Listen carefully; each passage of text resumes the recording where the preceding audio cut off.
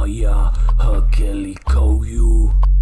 Se oli erittäin rinto kaveri, joka oli tuonut vaimonsa esiin, että hän voisi valmistaa kotiruokaa koukkimajoituksen sijaan. He asuivat pienessä mökissä